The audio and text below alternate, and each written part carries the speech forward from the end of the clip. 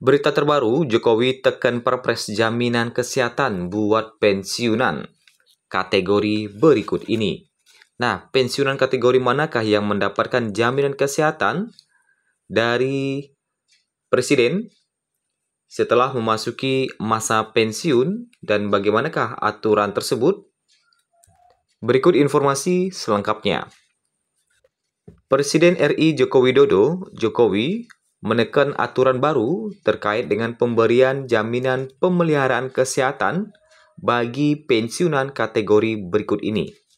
Nah, adapun aturan tersebut tertuang dalam Peraturan Presiden Perpres nomor 121 tahun 2024 tentang jaminan pemeliharaan kesehatan purna tugas untuk atau purna tugas untuk kategori berikut ini. Nah, bagi pensiunan kategori berikut ini yang telah selesai melaksanakan tugas, diberikan kelanjutan jaminan pemeliharaan kesehatan. Nah, seperti itu ya. Dalam bunyi pasal itu diberi, diberitahukan bahwa diberikan kelanjutan jaminan pemeliharaan kesehatan. Selain itu, jaminan kesehatan juga diberikan kepada suami atau istri yang sah dan tercatat dalam administrasi menteri. Jaminan pemeliharaan kesehatan itu dilaksanakan dengan mekanisme asuransi kesehatan berdasarkan kendali mutu dan kendali biaya. Adapun manfaat pelayanan kesehatan berdasarkan usia dan atau masa bulan tugas jabatan diberikan dengan ketentuan yakni Menteri Negara atau Sekretaris Kabinet yang ketika selesai melaksanakan tugas berusia kurang dari 60 tahun, kepadanya beserta istri atau suami diberikan jaminan pemeliharaan kesehatan selama dua kali masa jabatan. Sedangkan untuk menteri atau sekretaris kabinet yang ketika selesai melaksanakan tugas berusia 60 tahun atau lebih, kepadanya beserta istri atau suami diberikan jaminan pemeliharaan kesehatan selama seumur hidup.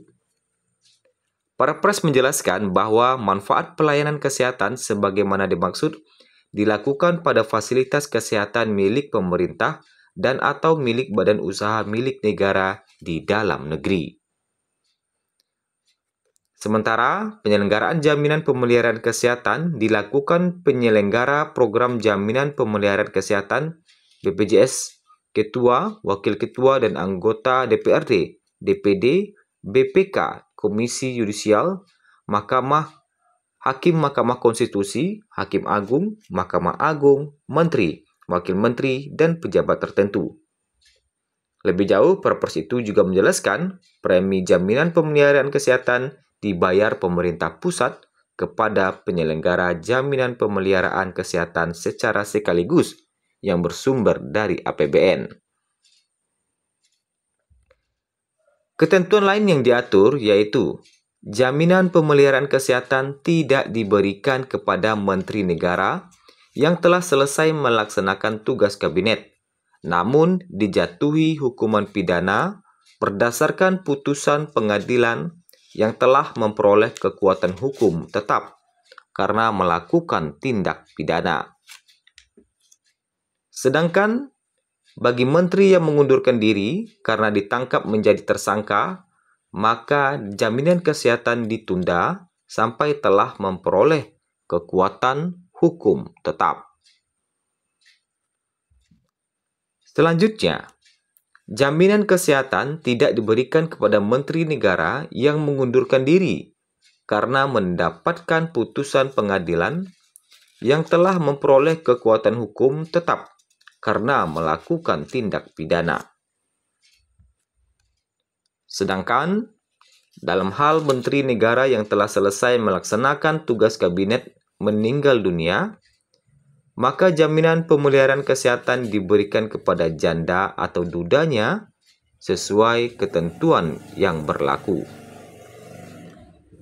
Perpres ditandatangani Presiden Joko Widodo di Jakarta pada tanggal 15 Oktober 2024 dan diundangkan Menteri Sekretaris Negara Pratikno pada tanggal yang sama. Perpres berlaku pada tanggal diundangkan. Nah, jadi jaminan kesehatan ini diberikan buat pensiunan menteri yang baru saja ditekan oleh Presiden di tanggal 15 Oktober 2024. Jadi, pensiunan menteri dapat jaminan pemeliharaan kesehatan yang mana ini dibebankan atau dibayarkan oleh APBN. Jadi, para pensiunan menteri yang menjabat pada 2019 sampai 2024 bakal mendapatkan jaminan pemeliharaan kesehatan dari negara. Yang mana jaminan kesehatan ini pun dibiayai langsung dari APBN.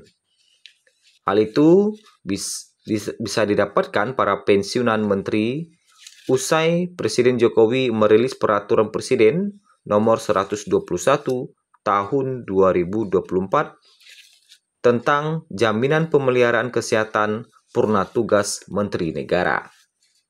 Belet itu ditekan langsung oleh Jokowi pada 15 Oktober 2024 yang lalu.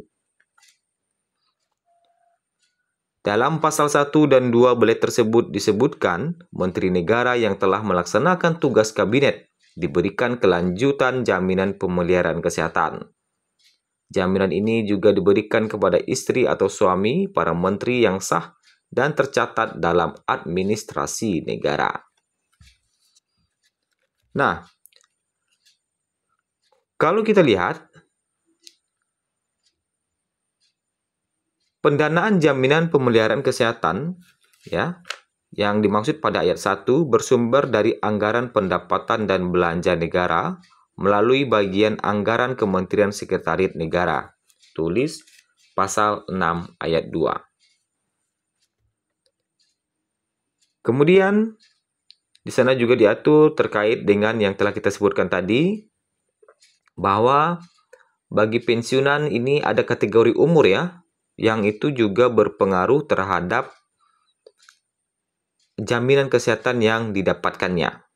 Nah, jadi ada yang di bawah umur 60 atau yang lebih dari 60 atau juga ada yang meninggal. Itu juga berpengaruh terhadap jaminan pemeliharaan yang didapatkannya. Nah, kita review kembali bahwa bagi pensiunan menteri yang saat selesai menjabat usianya masih kurang dari 60 tahun, akan diberikan jaminan pemeliharaan kesehatan selama dua kali masa jabatan. Sementara yang usianya 60 tahun atau lebih saat purna tugas akan diberikan jaminan pemeliharaan kesehatan selama seumur hidup. Nah, itu.